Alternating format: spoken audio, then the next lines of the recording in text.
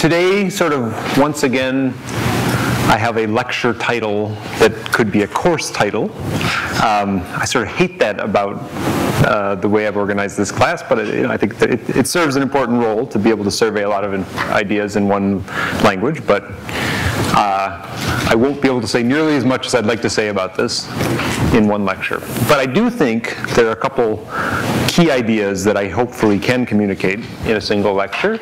And uh, and even some, some algorithmic tricks that you can take away. So my goal is to give you um, a few of the big ideas and a few specific nuggets from stochastic and robust control. And really, um, I hope that last lecture set us up uh, because the idea from last lecture was thinking about nonlinear dynamics. The toy example that I like to, to use is the marble in the potential well, but with Brownian motion, right? And like we said, even such a simple system, nonlinear dynamics, but with a little bit of noise, suddenly has very rich dynamics, right? So especially if that noise is Gaussian or anything that has sort of infinite support, then it'll do interesting things like making escape attempts, okay? And it no longer makes sense. We had to make a fundamental change where we don't talk about the stability of a trajectory or the stability of a, there's a, you know, a fixed point. That sort of went away. Uh, the, the, notion of, of the concept of particular trajectories in state space at least disappeared and we instead talk about the trajectories or the stability of the distribution which is represented by the density function over time, right? Is now, let's say x I called it in the discrete time p n of x, right, which is some distribution. And maybe that distribution for this has some interesting long-term dynamics. Maybe this could be the steady state distribution or stationary distribution.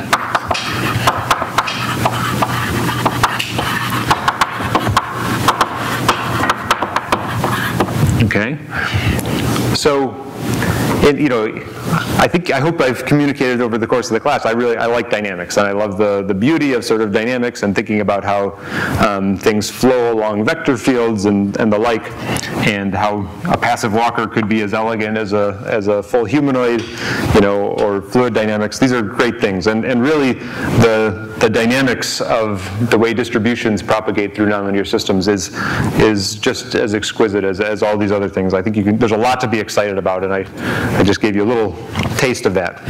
But um, the question for today is now let's say I've got a, a, a dynamical system if I keep it in discrete time for the sake of avoiding continuous time processes, but but now has control input.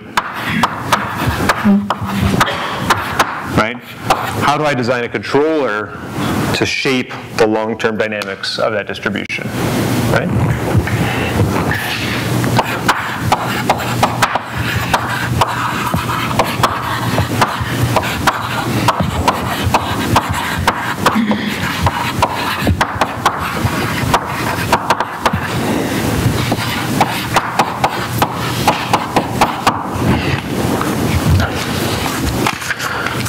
Okay, so um, I won't talk about the worst case analysis. We've, we've, mentioned that a few times. You can write down the common Lyapunov condition. That was one of the first things we talked about with robust control, is if you have bounded uncertainty, let's say the mass is between 1 and 2, you can ask for a Lyapunov function that goes downhill for all masses between 1 and 2 and you can search for control that gives you common Lyapunov function. So there is a worst case analysis sort of version of that, of, of all this. But we've, we've mentioned that enough, and, and there's enough other things to talk about. Let's talk about instead the stochastic ideas here of, of really um, trying to write something about the properties of this distribution over time.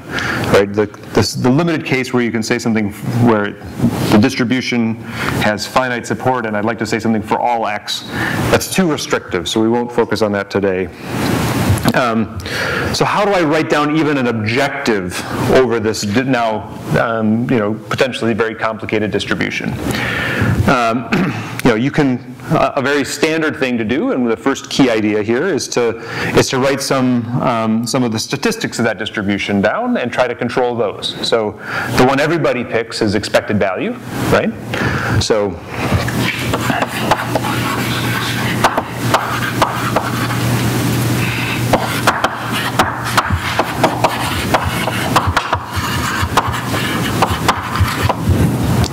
So if I had before formulations that looked like this, from 0 to infinity g of xu, I'll now eh, say that my cost that I want to minimize is the expected value of something like that.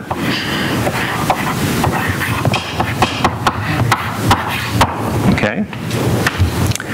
And the reason that expected value is so popular is, well, it's not only is it really pretty easy to compute in this, in this sense, but it plays very nicely with the additive structure uh, of the, you know, of the, when, we, when you have this additive structure of the cost function, then you can take the e inside, for instance. This is a huge simplification that's afforded by using the expected value because it's a linear operator.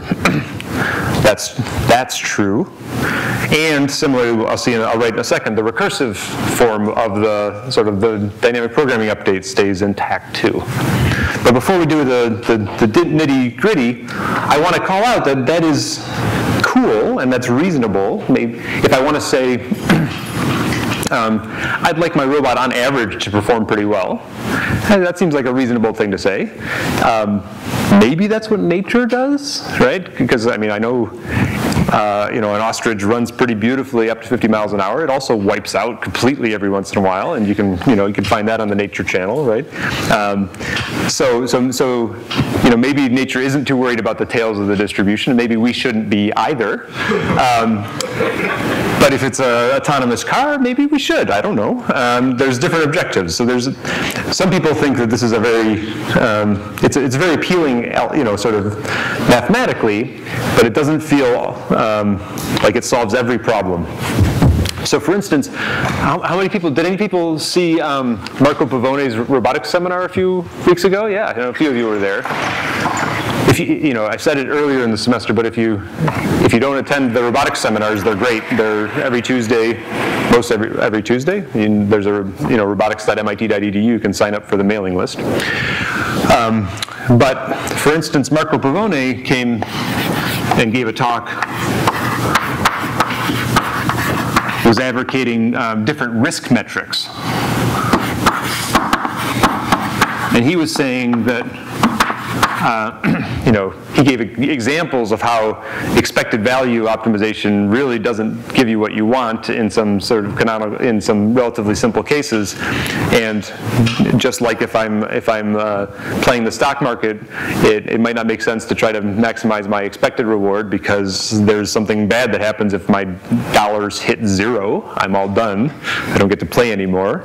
So there's notions of risk and risk sensitivity and, and having um, different objectives that could be, for instance, um, you know, the value at risk, or there's a conditional value at risk, and there's other metrics that say, for instance, what I care about is just the performance in the tails of the distribution. And oftentimes, once you get into those more complicated objectives, our tools for solving them start getting weaker. But there are some cases, Marco's talk was about some cases where you can still use convex, you can write some of these, these objectives as, as convex objectives. And that's like a budding area of research that I, I would encourage you to keep watching uh, and contribute to. I think it's great. Um, so there, there are cases where you'd like to say something that, you know, not just about the expected value. Okay, but let's see if I can push that. Uh,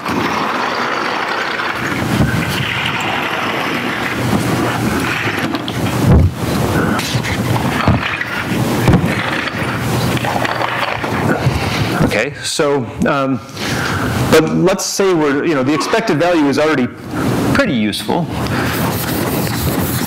I would say that one of the one of the lessons I've kind of taken from thinking about stochastic control for for a while um, oftentimes a little bit of asking for robustness or, or uh, you know, robustness in some form to uncertainty goes a really long way. So um, while there are important differences between the different objective functions, different noise models, you know, all these things will affect the accuracy and tightness of your results. In practice, I feel like a lesson has been um, if you ask for something to be robust against, you know, at all, then it's, it becomes, uh, you know, there's a, there's a big sort of, there's a big jump in robustness about things you don't model and other objectives just by asking the question in terms of robustness. And then of course, eh, the more specific your question about robustness, the better you can be.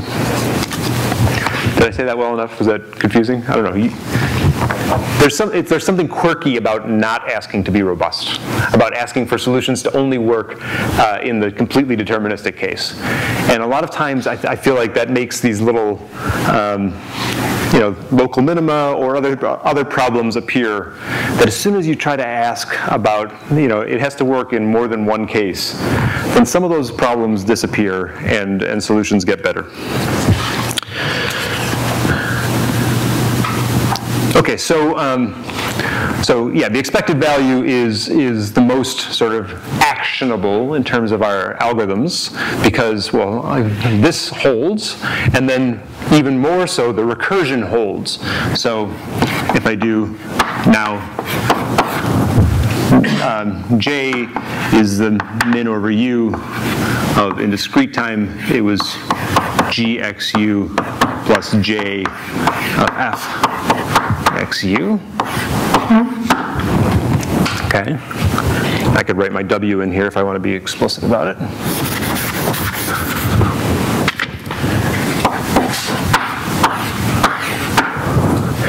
Then now the stochastic form is going to, because of the additive property of, of the um, expected value, I end up being able to take that on the inside, and I could say the expected value of gxu plus j star f of x u w.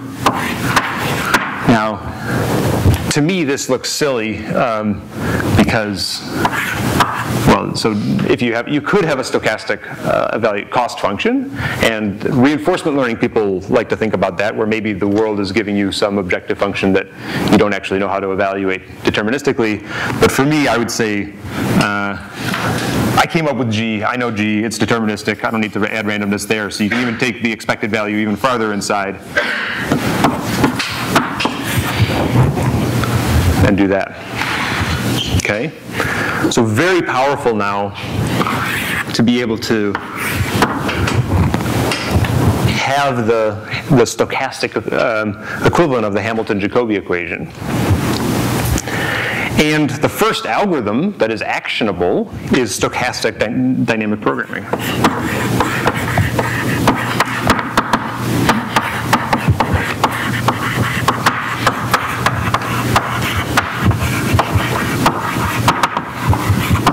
So if you're willing to discretize or put some basis functions um, over the state and action spaces, then this expected value can be computed just, this, this looks like the transition matrix probabilities times my, my otherwise deterministic update. I, I don't need to write it down, but the point is just that it's, it's almost no more expensive to compute the stochastic shortest path problem on a graph than to compute the shortest path problem. You still do the same um, backups on the graph, computing the cost to go, but now you're just multiplying it by a probability matrix as you do your backups. That costs almost nothing, and you can do stochastic dynamic programming on the discrete time systems. And so for systems that are low dimensional, that can work really well and make a big difference. So first example.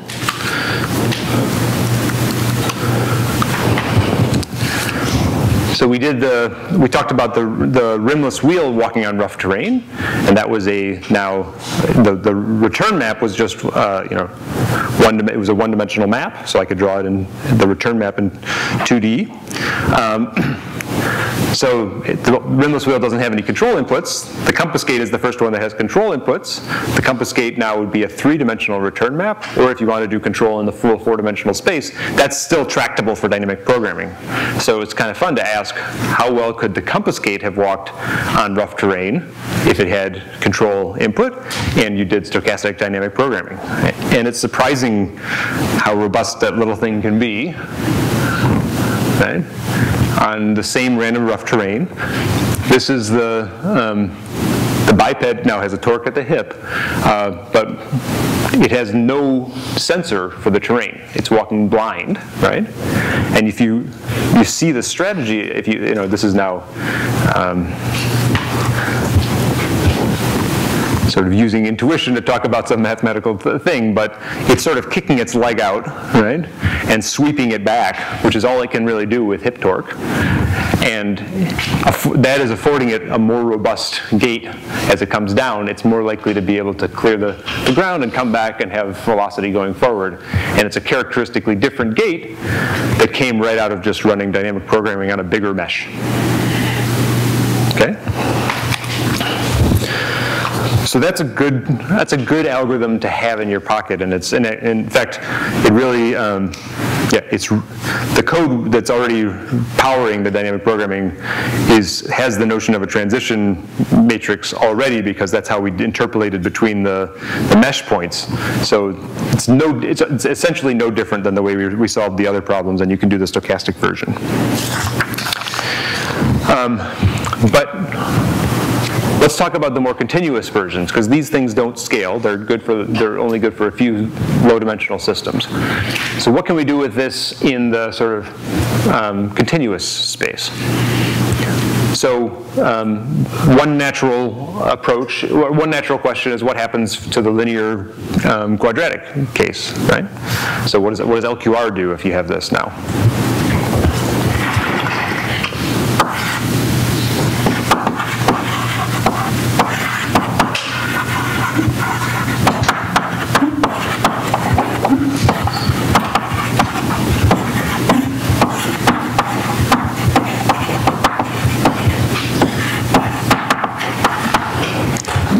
Now that sounds, maybe smells a lot like uh, LQG, but it's not quite LQG yet. If you know the, the LQG, the LQG is about uh, involves a state estimation that, that includes uh, sensor noise too. This is just process noise, so um, it's a subset of that LQG problem. But if I have the dynamics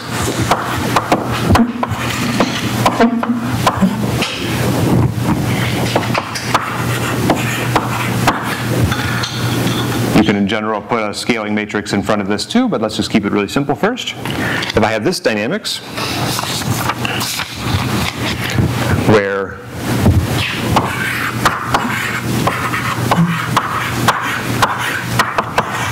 we're going to keep it zero mean,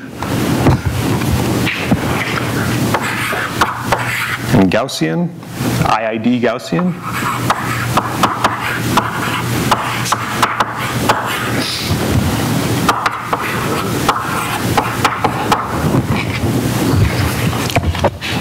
We have our cost function.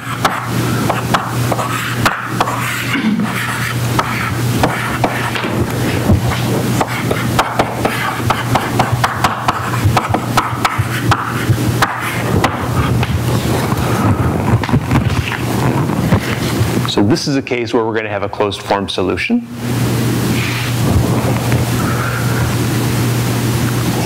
What do you think that's going to be like? What's your intuition? So try to drop any previous intuition about what LQG does or anything like that. And just think about these equations and think about the pictures we drew last time. You know, so what should, what should a system, a linear system with Gaussian noise, with an objective like this, what kind of cost should I expect it to achieve?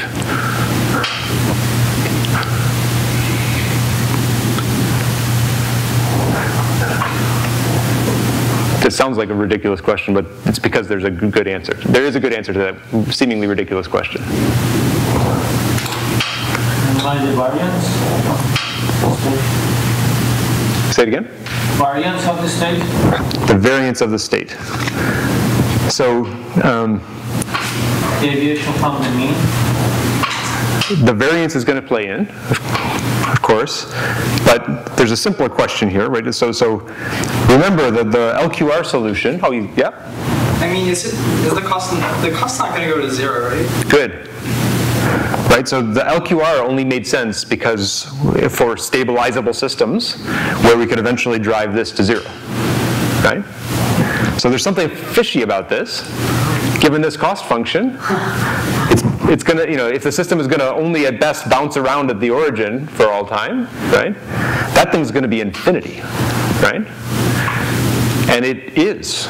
So, so you know, the LQR with, with Gaussian noise actually does have infinite cost, okay? But it has a particular type of infinite cost that we can deal with, okay? But, but in general, you have to be more careful with these, um, you know, these formulations. In fact, a lot of times when you see the stochastic version of these uh, equations, there'll be different mitigating, uh, you know, approaches to this. A lot of times, people will not write um, expected value of the infinite horizon. A lot of times people will do average cost, for instance, or finite horizon.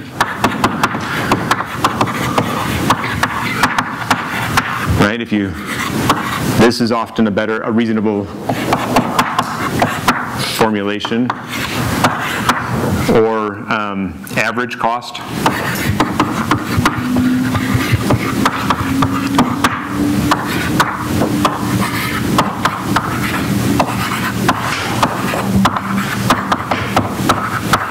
You could take the limit of that as n goes to infinity potentially. Or sometimes people do infinite horizon, but um, discounted cost.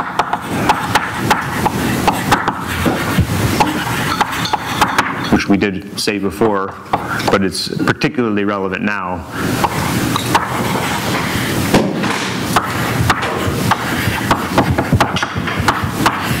So once you have a, you know, a Gaussian noise or a Brownian motion throwing things around so you can't drive these things to zero, then you tend to have to play some of these other games in order to get something that's a bounded optimization, okay?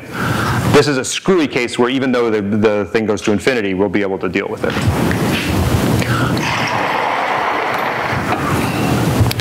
All right, so what happens here? So, um, you know, for the for the linear deterministic case, we had j star uh, was a quadratic function, and it's going to be a quadratic again here.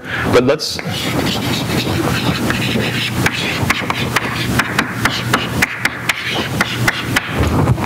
um, plus some extra thing. We'll call it Cn. Okay, and this is s is a function of n. Let's say. Um, let me, let me be more careful with my notation. Jn Snx plus Cn. Okay, so it's going to, let's choose as a form something that has a quadratic form plus some constant. Okay, and what we'll see is that this thing has a, a reasonable solution, even though this thing is going to disappear off to infinity. Okay, and what matters is that the control decisions are going to depend on this and not on that. Okay? So if I put it into the Bellman equation, I, I get um,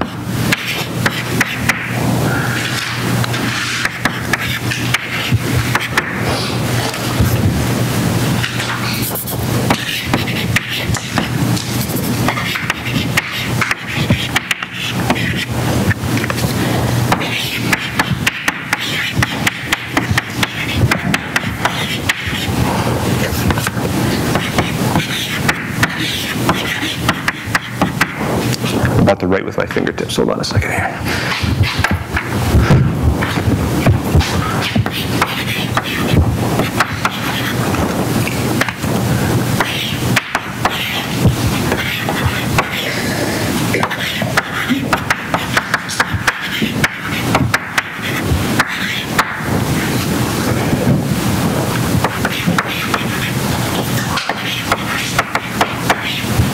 This is Sn plus 1.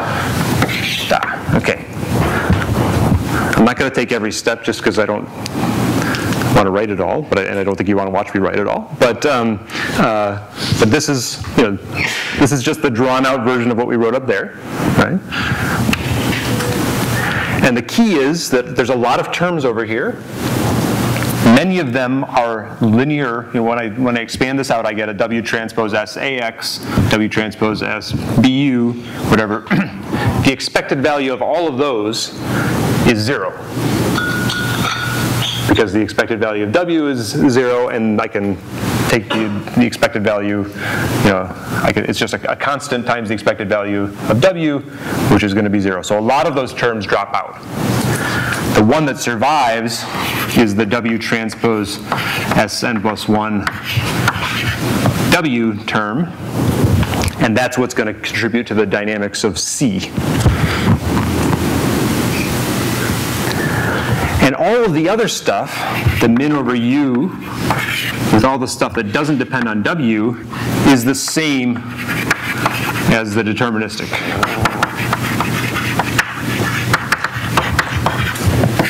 LQR. Okay?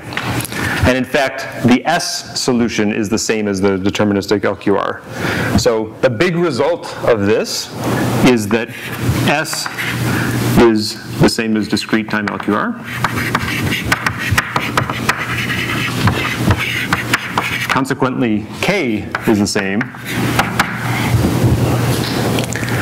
And it roughly justifies you ignoring the, the noise. Okay? I would say this is maybe the best and worst thing that happened to control.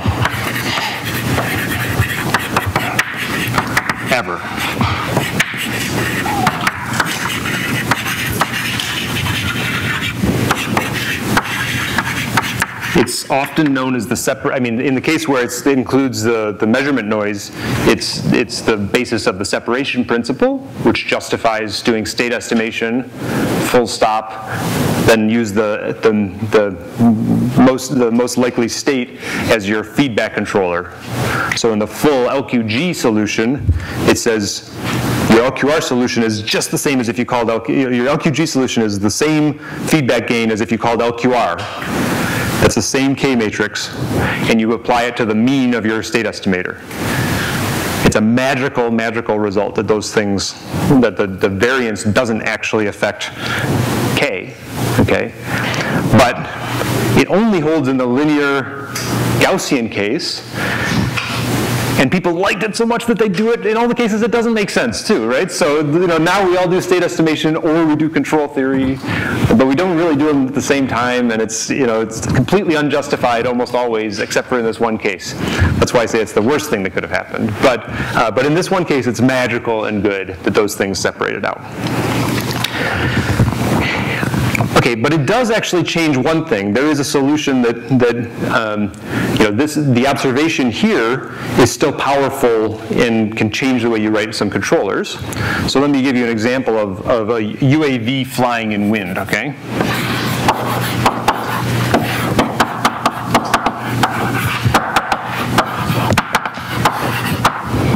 I'll show you the video first. This is a MATLAB UAV flying in wind, but still cool. Okay, so vector field is the wind, um, and that is a uh, well, it's, it's a, a, vertical takeoff version of our, of our plane that is using an LQR controller, roughly, to stabilize uh, itself in the wind. And it's doing, it does a very good job. And it, of course, will will have some Gaussian distribution around the, the stable point, but it performs much better than the one that didn't think about the wind. So I just said that you don't have to think about the, the distribution, um, but we have a controller here that is different than the one that ignored the wind, even though it's using LQR. So let me tell you why, okay? Um, so the basic idea is that wind is not IID Gaussian, okay? So uh, at time, if the wind is blowing three, uh, you know, meters per second, or that's pretty fast, but uh, three meters per second at one time step, it's probably not flying, uh, going completely the opposite direction on the very next time step, right? There is some time constant about the way the wind changes in time. And there are some famous models of, you know, the Dryden model of, of that people have accumulated and fit to data over years of sort of, there's a handful of gust models that tell you the distribution of, of wind. Most of them take the form of um, a Gaussian IID, let's say our standard IID Gaussian.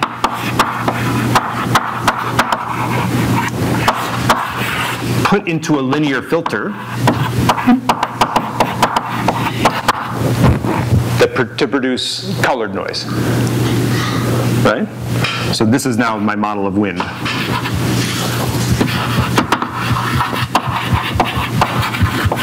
Okay? And this is the thing that I'm going to pass into my, um, my UAV model as my disturbance. And I separately have a control input U. And I have a state, let's say I have perfect state measurements, comes back out, and I've got some controller I want to build here to make the decisions, right? So this is sometimes in, in the reverse, it's, it's called a whitening filter because it takes a process that is a colored noise process that, that describes the distribution of possible winds, and it lets me think about it in, in terms of an IID process. Okay, so what, how did that change the way we do control? Now, the way we design LQR is by doing LQR of that system. Okay, this system has Gaussian IID input. The state of the system contains the state of the, of the wind and the state of the UAV. At runtime, we actually have to estimate both the state of the UAV and the state of the wind. But then, once having achieved that estimate with a Kalman filter or whatever, um, we have now justified the choice of then doing a linear feedback designed by LQR that depends on both uh, states, right?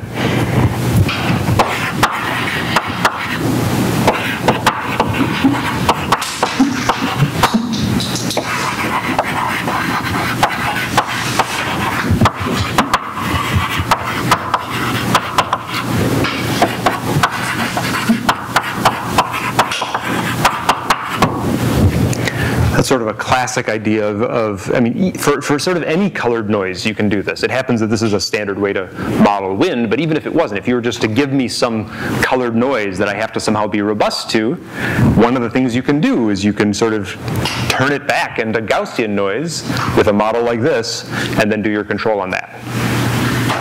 Okay?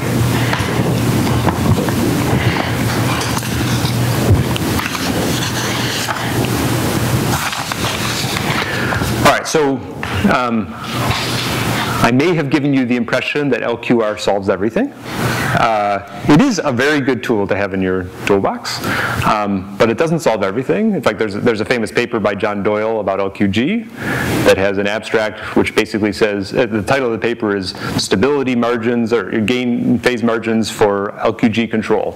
And in the abstract is, there are none. That's it, just one sentence, boom, you know, that's pretty good abstract.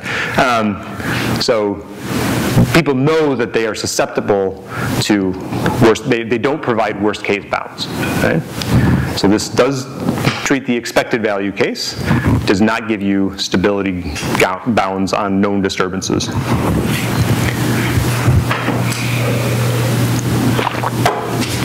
But it's a powerful result. Okay, so that's the first pass of stochastic control. You guys feel okay with that? Any questions? Yes? Sorry, can you explain color noise? Colored noise is just something that has, um, uh, uh, so, the, I mean, it depends how, how, what level I should explain it, but basically, the power spectral density, or somehow the, you, you have more power in some frequencies. It's not that you have equal probability of having every frequency. You now have some distribution over frequencies that is not, white noise means that you have everything is equally possible, possible in terms of in the frequency domain. Colored noise is something that has a, a you know, a non-uniform distribution in the power spectrum. So in, in, I think this is a good way to think about it, is, is, is someone's doing something random and then you're filtering it out to get something that is more characteristically, you know, it changes more slowly. Good. Um, okay, so you can do trajectory optimization in the stochastic sense. Okay, so, so how would you do tra trajectory optimization with a stochastic sense? Again, if your objective is expected value, now the expected value computation in general needs you to keep around the entire um, the entire uh, posterior.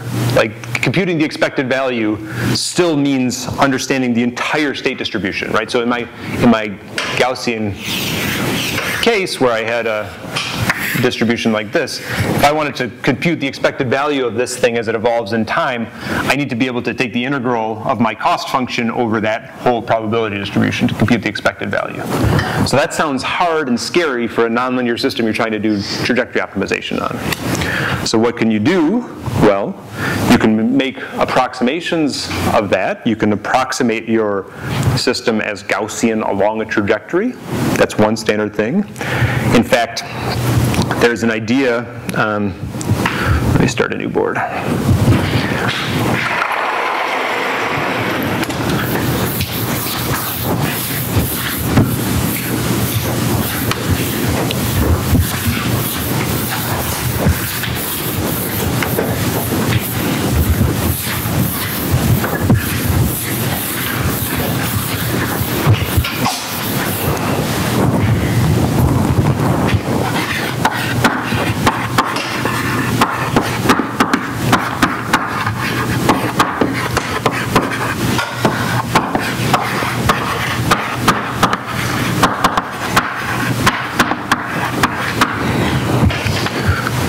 So one idea is actually to do um, iterative linear quadratic Gaussian um, case, LQG control. So we didn't actually talk about it, although a few of you are doing it for your project. One way to do trajectory optimization is to have an initial guess at a trajectory in state space. You have some cost function, which you're not minimizing yet.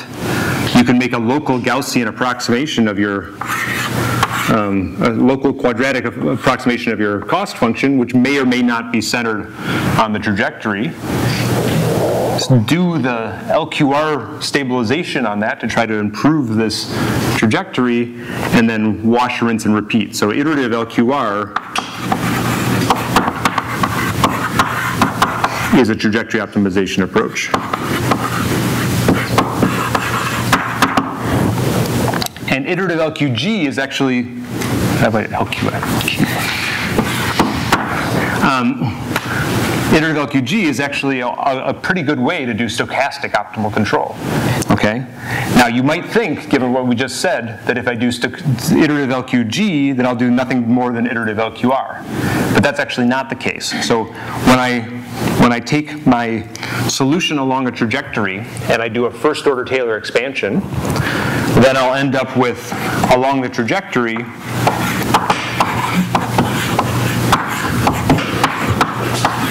an approximation that is like this, and potentially if I have my noise model in here too. Okay, but I'll actually also end up with some affine terms. Thanks.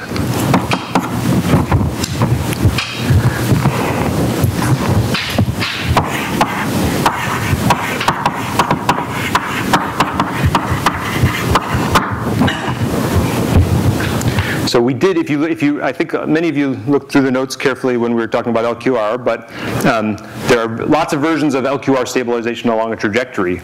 If you're trying to stabilize LQR tracking, for instance, where your um, objective function is to stabilize a path that is not the nominal the nominal trajectory, then there's an LQR version for that too. If your objective function is not quadratic, but is, has a full quadratic form, if it's x transpose qx plus, let's say, x transpose q1 plus q0, that one doesn't matter at all. You know, plus u transpose ru. And you can have off, you know, not a perfect uh, quadratic form in your cost function, and LQR still works for that. And it gives you a solution that is different, you know, that will potentially stabilize a, a trajectory, a neighboring trajectory. If your goal is to stabilize something like this, you can do that with a cost function like this, okay? Similarly, if you have um, first order but affine dynamics, all the LQR math will work, will work through. The Riccati solution is a little bit more complicated, but this is still in the scope of things you can do with LQR. Interesting thing, and the point I'm trying to make here, is that when you do LQG along a trajectory, and you take linear Gaussian approximations of your dynamics, suddenly the separation principle no longer means that the noise doesn't matter. Somehow the affine terms and the off-diagonal terms here mean that the covariance of your noise does affect your optimal policy. And in fact, by iterating on this, you will do stochastic optimal control, optimizing that objective in a way that's different than doing iterative LQR. Did I say that well enough? I was off script and bad notation, but. But there's also a much easier way to do trajectory optimization, um, a stochastic trajectory optimization. And that really, this, this picture, I think, is, is really the right way to think about all kinds of uncertainty. So uh,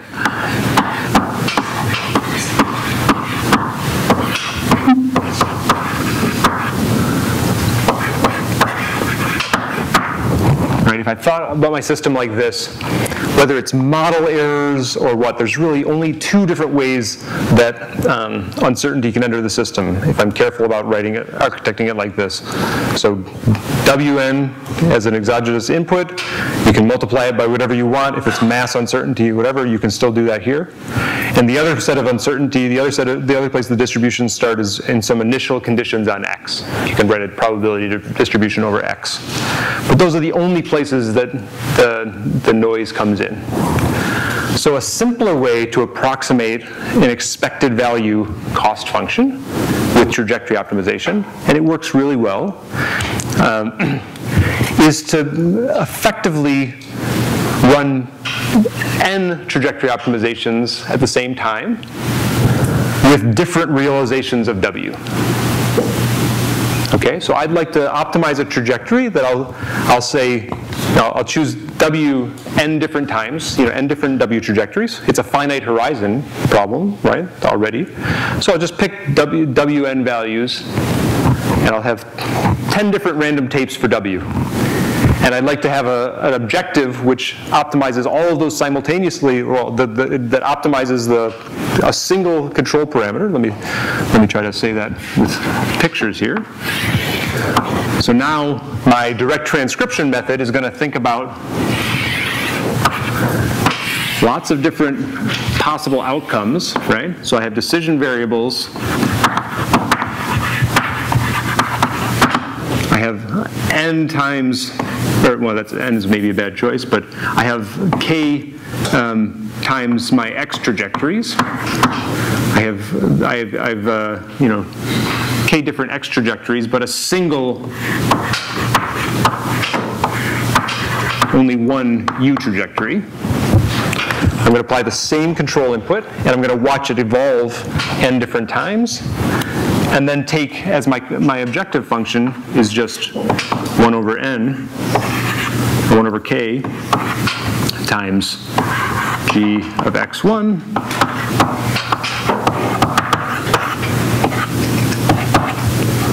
like this, right?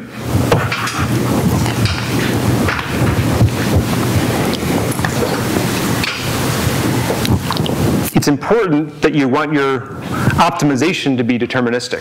So you pick these once. You don't, you don't call rand in the middle of your optimization. SNOPT won't like you if you do that.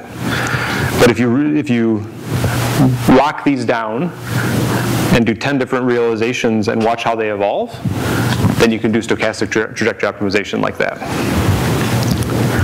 And again, um, you know, this is sort of what I was saying that a little bit of, even a, a, little bit of sampling, if k is small, you know, for the, for the, when we were making the glider perch outside, um, we, we did stochastic trajectory optimization with a relatively small, considering the dimensionality of the state space, relatively small number of realizations of, of the random noise, and it got dramatically more robust somehow just asking it to be robust at all, you know, characteristically changed the type of solutions we got. Yeah? Is there any way to say need? I mean, this is this is a, a sampling-based appro approximation of the expected value. So um, I guess I should have even removed that. This is this is actually how you're we're approximating the, the expected value. So depending on the complexity of that distribution, you can write uh, you know you can talk about all the statistical measures of, of, of tightness for that, right? And and I'm sure that we're never close to where it should be for accuracy uh, in the in the applications I've seen. Um, but I found that it, it, a little bit goes a long way. Yeah. What are the affine terms doing area? So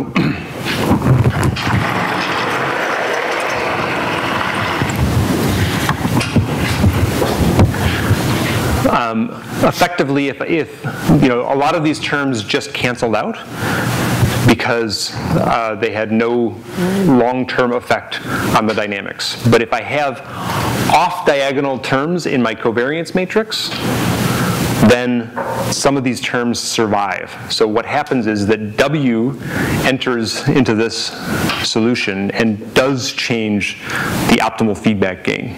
It actually depends on the covariance of your noise in a way that it does not in the, in the purely linear case.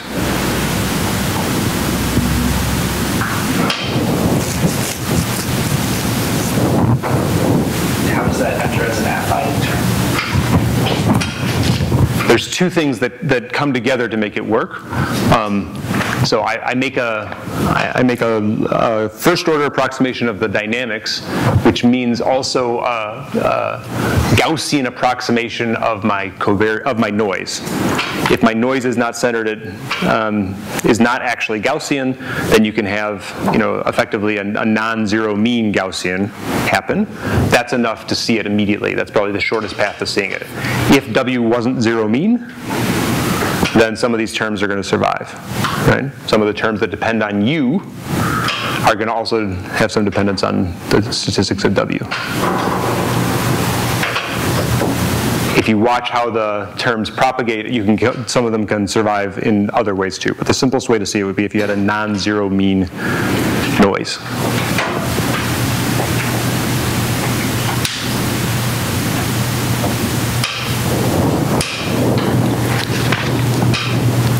This is the pains of trying to give you the big ideas without giving you the details. I'm sorry.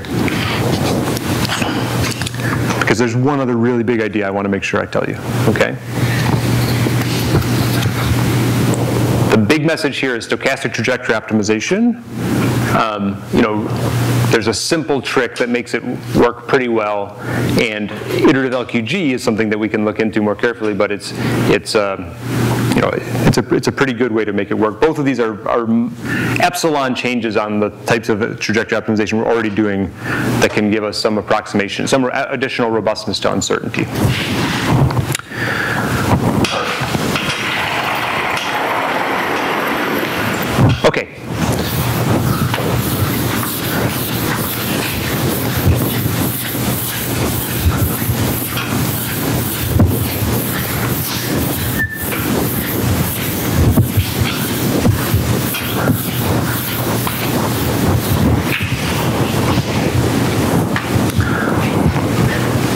Last big idea is, um, is a robust control idea.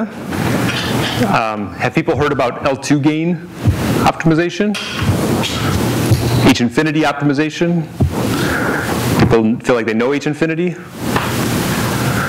H infinity has this plague where um, it's really, there's a couple of ways to see it that's really not that complicated, but if you work on H infinity, you have to make it complicated. Like you, you, you use uh, obscure mathematics to write your papers, um, whether it's required or not. Uh, so it's, it's, like it's fun. It's sort of uh, really hard to penetrate, but some of the ideas are really easy. So I can give you a little taste, um, but.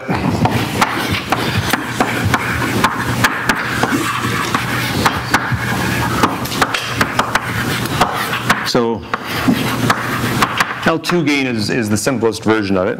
But um, there's a big idea here, which is which connects to our Lyapunov um, analysis type thinking. So let's say I just have a x dot equals f of x w, and I've got some w coming in, but no control input. Okay. Um, what have we told you about so far uh, in terms of, of, stability analysis, right, we said um, the basic Lyapunov analysis was look for a v greater than 0, v dot greater than 0 implies that x will eventually go to 0, let's say, right? That's not going to that's not going to work if I'm getting pushed around by exogenous input. But there's a way to make these tools scale, okay? Um, this is too conservative.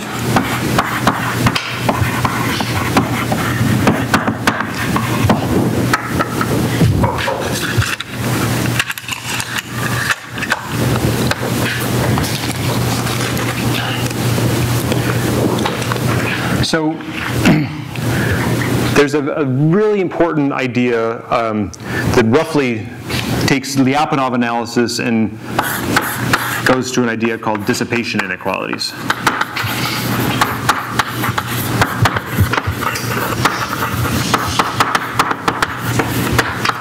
Okay? And the idea is that I should expect X to be um, poorly behaved in the long run. It, it, this is too much to ask. But, it's, but I should expect the, the deviation from X going to zero should be somehow related to the, the amount of energy that was pumped in, the amount of badness that was pumped in. And if I can somehow write that relation, I can start talking about the, um, you know, the connection between, if W was very small, then I could say I'm going to achieve some, some reasonable performance. And if as W gets bigger, I should be able to watch or quantify how my performance degrades. Okay? So the idea here is to come up with a supply rate.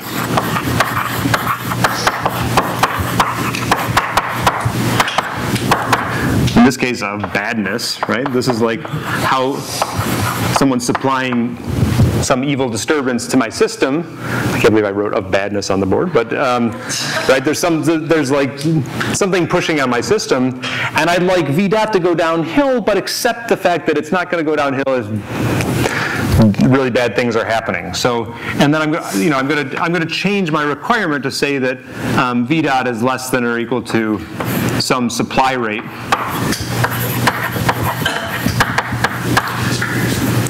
which could be a function of x, but is certainly a function of w.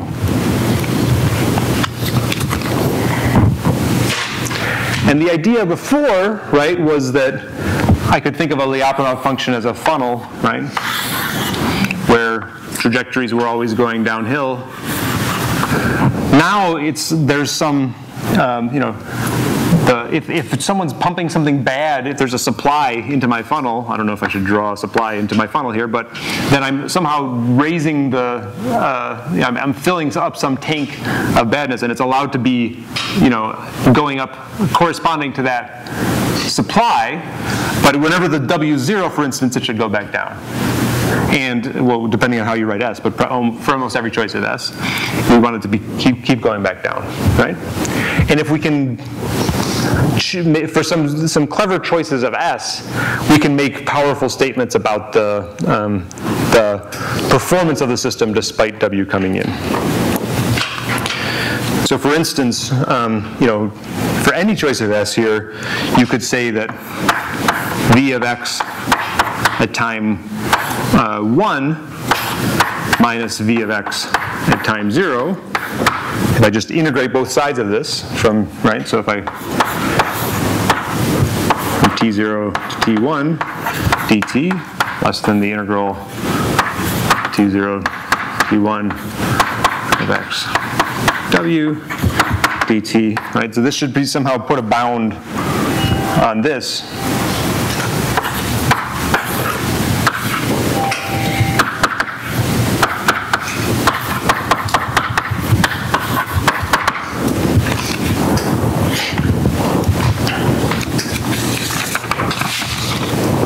Supply rate have to be positive. Ah, good.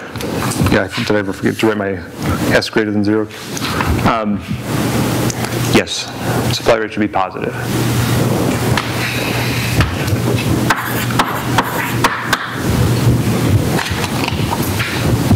I think that, uh, that's going to be true for, for everything we write. That's not strictly required here, this is just an integral. Yeah.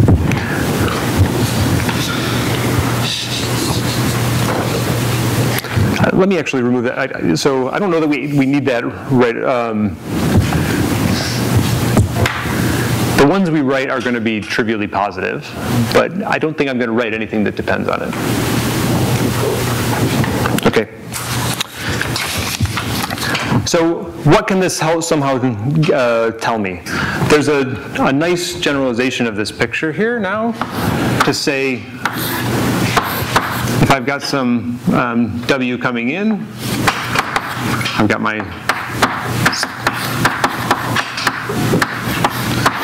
and let's say I've got an output Z of t here. One of the things you'd like to say, for instance, is that, let's say Z is normally supposed to go to zero. I'd like to say the, uh, the rate at which the, the amount that this deviates from zero is directly proportional to the amount of energy in this. Okay? And that's the notion of an L2 gain. And it turns out that the supply rate and dissipation inequalities give us a mechanism for solving for, um, for L2 gain. Right? So I, it's, this is a very powerful and different way to think about stochastic control than what we said before, right? Instead of saying worst case, you know, this thing will drive to zero no matter what W is doing, right? Or I want to control somehow the expected value of Z. This is saying Z is going to be bad, but it's going to be bad in proportion to the energy in the disturbance. Okay, it's going to be a longer term statement about this about the stability. So in particular, I'll write the energy of this thing as its L2 gain. So an integral over time. Let me keep it as finite time for now.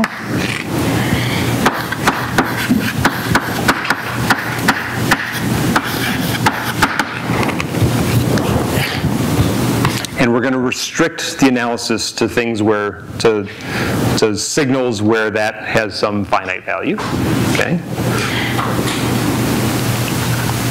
So a bounded energy input, we'd like to say something about the total energy of the output in terms of its L2 gain.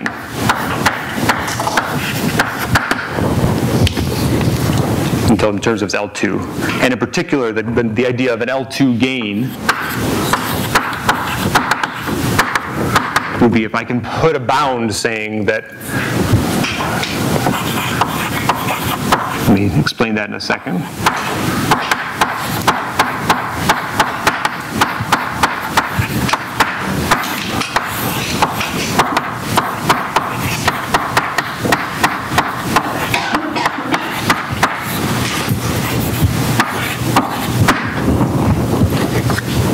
This is the actual gain. Okay? So so supremum is just like max, but for continuous um, valued things, right? So the worst possible noise that I could come up with that has some bounded L2 gain, right? I want the, I want to somehow put a limit on how bad the output is to the worst possible thing as a function of its total gain. Right? If I get a, a small input, then only gamma squared times that small output. Not on a for every sample basis, it's got to be an integral over the total energy of the disturbance. Gives me some bound on the total energy of the, of the output disturbance. Okay? That's the notion of an L2 gain. And it's a fundamentally different way to write, to ask for somehow robustness to disturbances. It's beautiful for linear systems because linear systems really do have gains that like this. For nonlinear systems, you you tend to that supremum can be ugly, and you'd have to somehow do a local analysis. Okay, so how do we find a controller with an L2 gain? Uh, H infinity tells us how to do that. H infinity control tells us how to do that. But first, you know, the, let me connect it to the Lyapunov function. If I choose S, there's a particular form of S that if I can find a Lyapunov function which satisfies these conditions with a particular form of S, I can guarantee that inequality is true. Okay?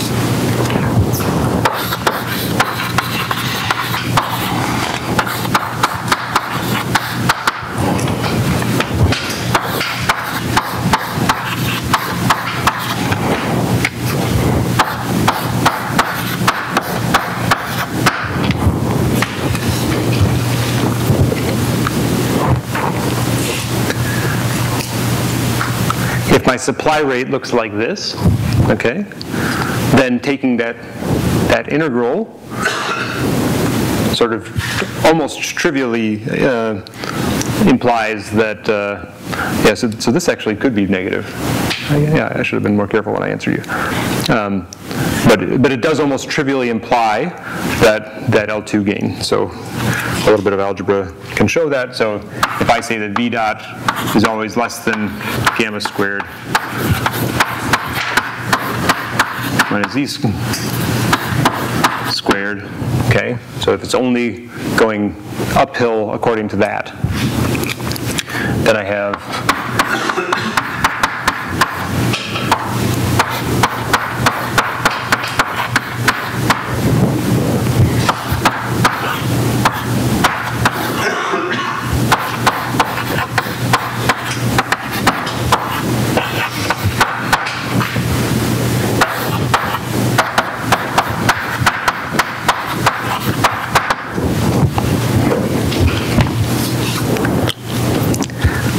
So it gets, a you know, it's a little funny to think about this, but I, I can actually, I can bound this. um, Because this thing, it- so it has to work for all x. Right, if I've, if I've satisfied one of the equa- equations, it has to work, work for all x. So it has to work for x equals zero. And if I set, if I've set my conditions, I can roughly, I can basically say that this thing is, has to be able to work even if that's zero. And if I've set that v0 equals 0 and v dot, you know, v of x is greater than 0 um, for all x not equal to 0, then these conditions guarantee that, right? Then I can flip it around and say,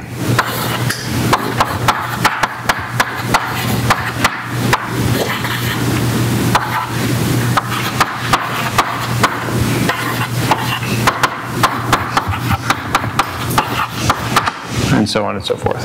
Okay? So super important idea. I can use a Lyapunov analysis to bound my L2 gain.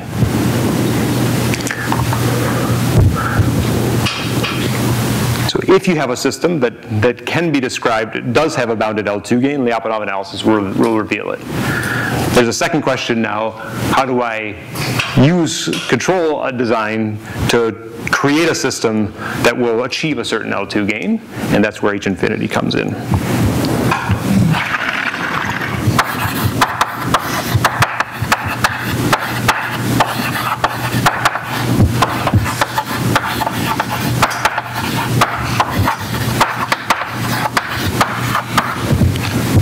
There's a whole family of robust control techniques.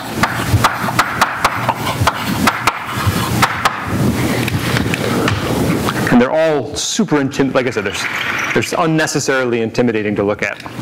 But um, I'll give you this, I'll give you the one that looks just like LQR.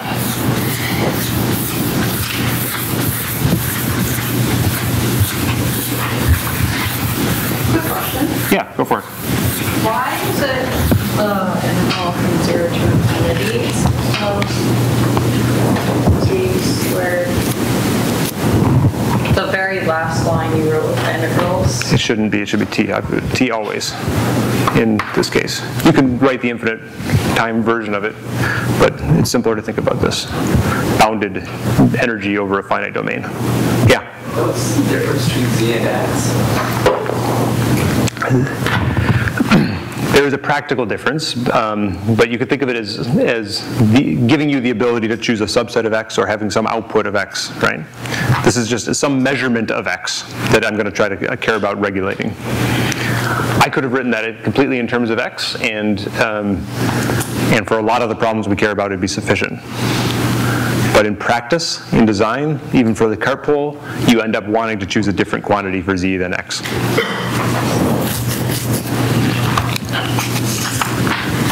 It's also the standard notation of robust control. If you look at, um, you know, robust control books, you'll see some standard diagrams. They always use W, they always use Z, so I feel compelled to comply.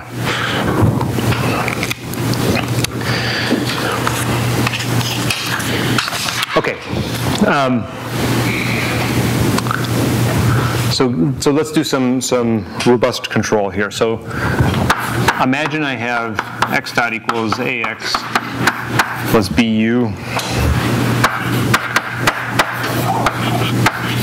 This is also standard notation. I don't love it, but hey. And j is my um,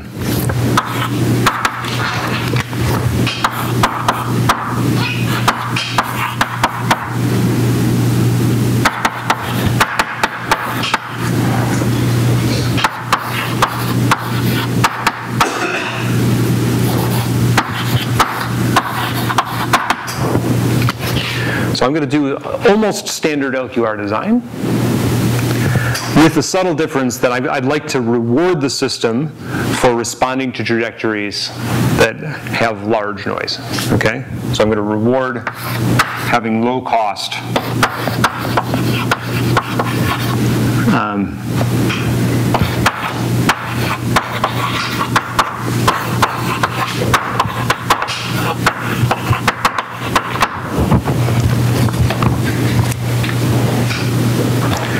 like to, I'm not, I'm not writing expected value here. I'd like to do this for the worst case W. I'll, show, I'll write that in a second. And I'm going to be able to solve, just like in LQR, I'm going to solve it for all X and for all U, okay? The way we'll do this is we'll write the min over U, the max over W is a differential game of J. Okay?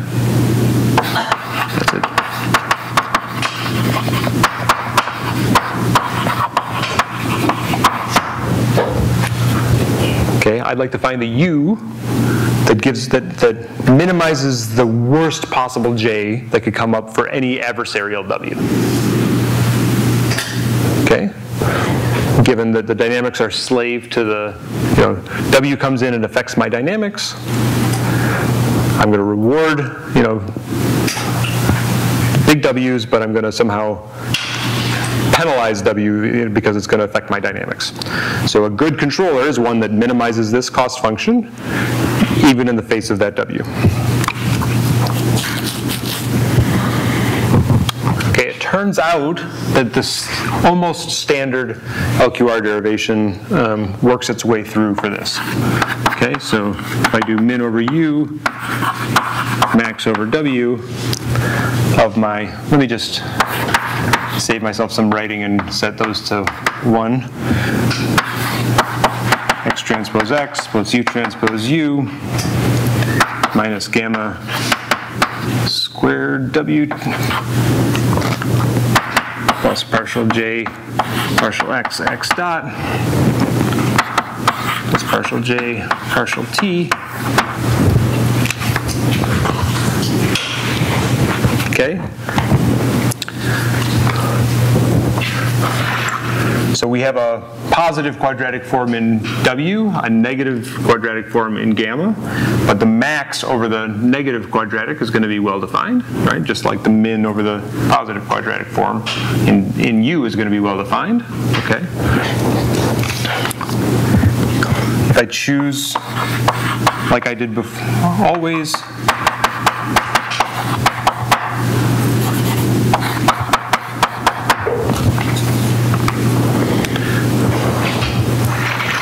then I can compute the, the maximizing W, the worst possible W, by taking the gradients of this and setting them equal to zero. That gives me my, my critical point of the, of the negative um, W, right?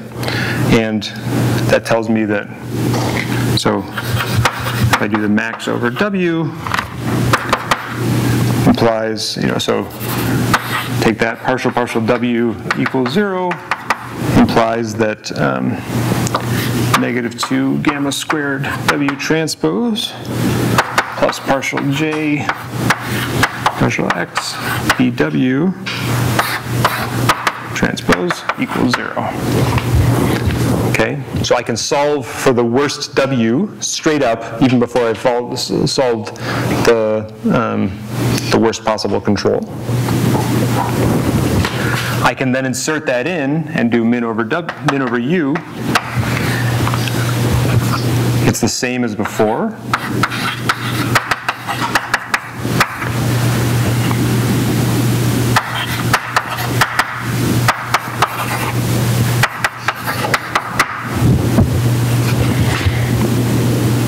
But my Riccati equation is different.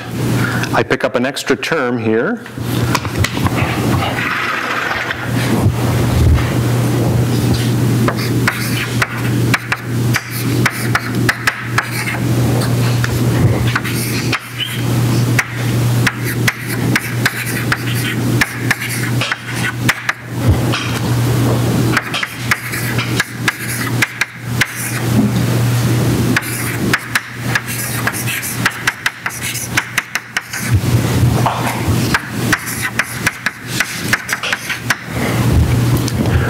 look for the state, you know, in the time invariant case, I can look for the steady state solution of this. Okay, so sorry to have done some algebra there, but uh, it turns out that if you that you can design a controller that has a guaranteed um, a guaranteed L2 gain, okay, doing essentially the same control design as LQR, you now have to tell yourself, tell your system about the noise BW and through BW. You have to pick some um, some scalar cost on on W gamma squared, and then you can you can solve this this slightly different Riccati equation and get a controller out. Now, this one is different in an important way. So the Riccati equation had the property that it always had a positive definite solution. This one does not always have a positive definite solution. The ability to have a solution depends on your choice of gamma. And in practice, if gamma is infinity, you get the LQR controller back, so it always works. If gamma is zero, this thing doesn't make sense at all. So, if so, so um, the way people do H infinity control is you do a line search on gamma.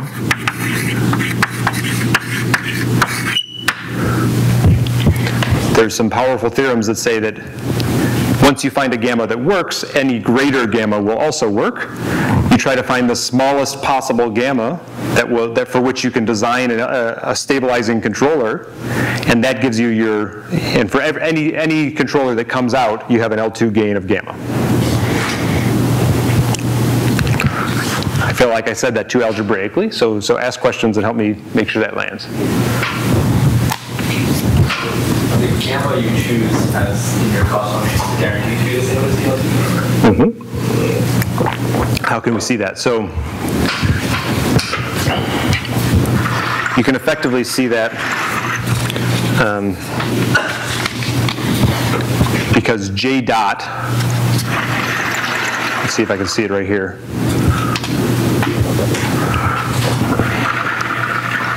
It's, it's, it's exactly the same. So you have the property that once you see that is J dot is going to be less than or equal to gamma squared it's right here, right? So what's J dot? It's, it's gamma squared omega transpose omega minus x transpose qx minus u transpose ru, which is exactly the same as our supply rate that we had before, where this is now our, our z, is, is, a, is a combination of x and u. Okay? So J dot goes down with the supply rate exactly like our Lyapunov function. So J becomes our Lyapunov function, and it guarantees the L2 bound gamma squared.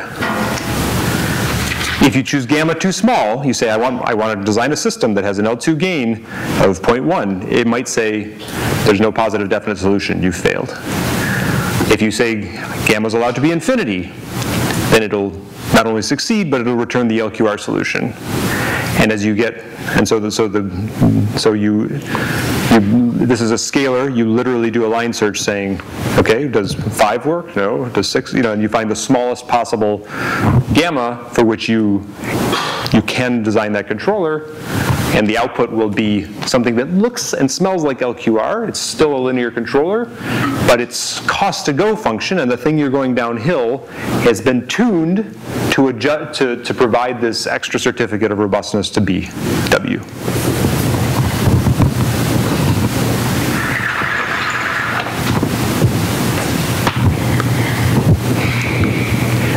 H infinity is very hard to penetrate. This is, I worked hard to find the simplest version of this.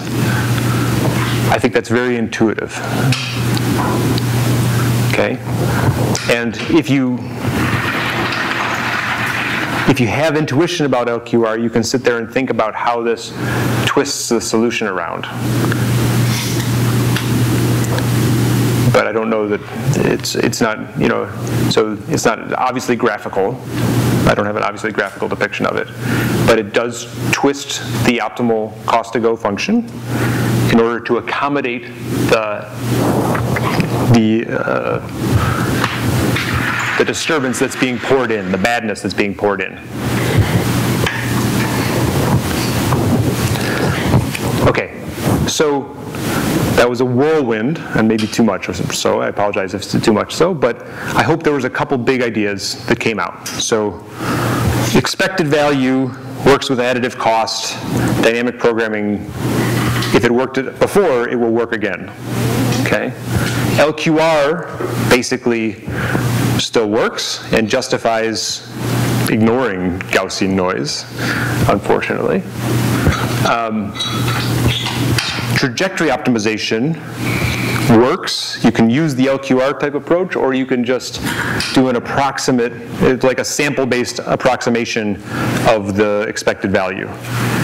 Could, the picture you could have in your head is almost exactly like those, the limit cycle, you know, the, the particles flowing around.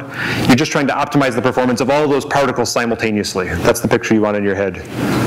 And you can do trajectory optimization with that kind of, with it, a, an expected value type objective.